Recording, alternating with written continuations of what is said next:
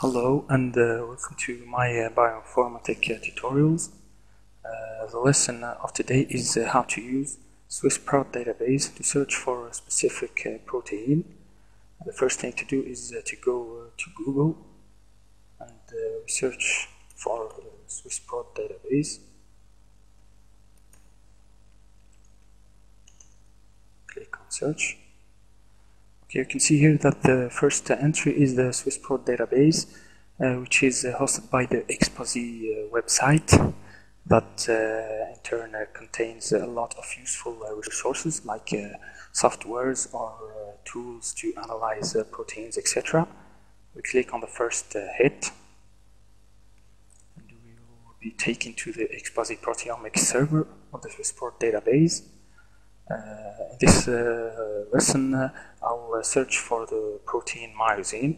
You can uh, write uh, whatever you want. Mhm.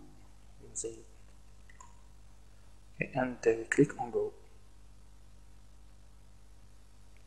Okay, you can see here that uh, we have uh, a huge amount of uh, entries, 223, uh, which is a lot for us.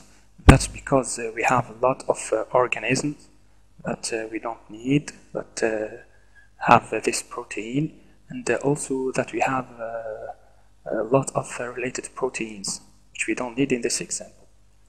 To reduce this research, you can click on Fields, Protein Name, and we write the term myosin.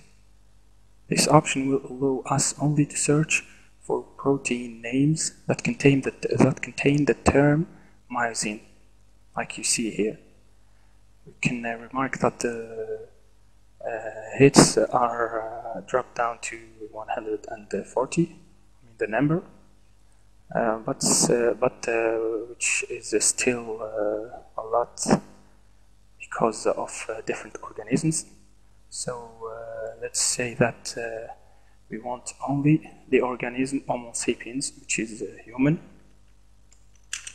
We type Homo sapiens click Add and Search. We wait a little for the result page to appear. We can see here that the number has dropped down to 11, which is good for us.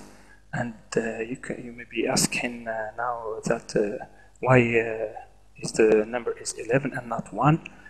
I will say because the protein uh, myosin have a lot of uh, heavy chains, not only one. Okay, to access one of our targeted protein, uh, let's say myosin 7, we click on the accession number on the left, here in the section accession.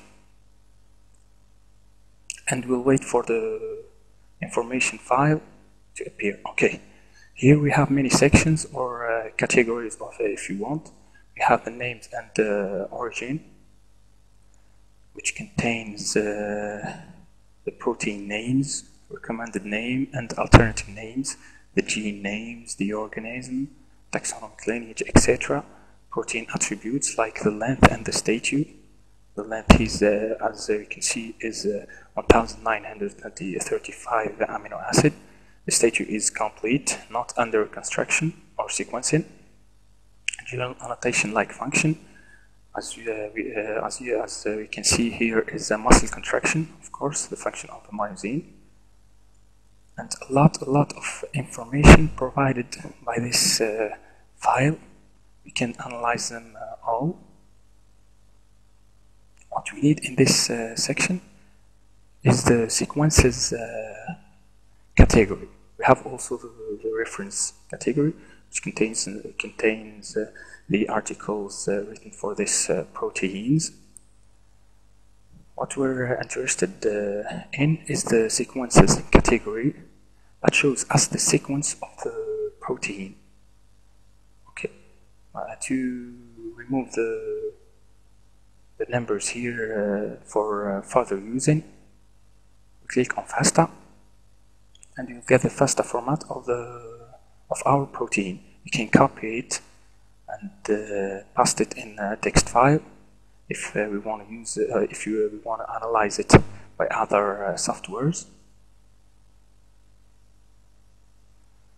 Okay, uh, We have also this uh, very useful tool tools uh, here in the drop-down menu. Uh, we have, uh, for example, a lot of softwares like ProtParam and ProtScale, etc. We can do we can analyze our protein from here directly.